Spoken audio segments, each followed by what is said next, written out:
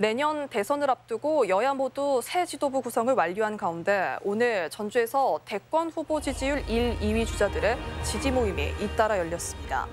이재명 경기지사의 대권 지지 모임인 전북 민주평화광장은 전주교대에서 각계 인사가 참석한 가운데 출범식을 열고 본격적인 활동에 들어갔습니다. 윤석열 전 검찰총장을 지지하는 전문가 모임인 공정과 상식 회복을 위한 국민연합도 전주 라마다 호텔에서 포럼을 개최했습니다.